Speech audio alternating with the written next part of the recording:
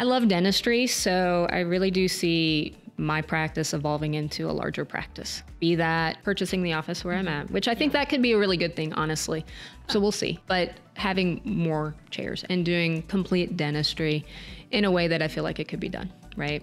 Um, the way it should be done. I think that's going to be big. I think I will try to share more of what I've done well and what I've not done Yeah, well, because um, I'm pretty much an open book from that standpoint with others, hoping to inspire them.